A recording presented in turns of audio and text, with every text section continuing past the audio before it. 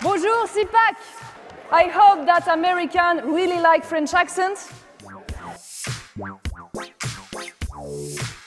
I want France first for the French people.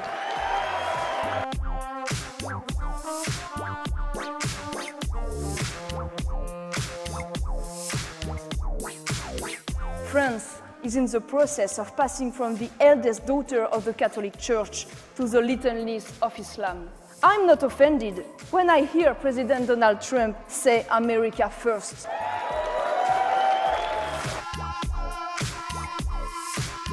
Vive les peuples libres and long live the Franco-American friendship. Thank you.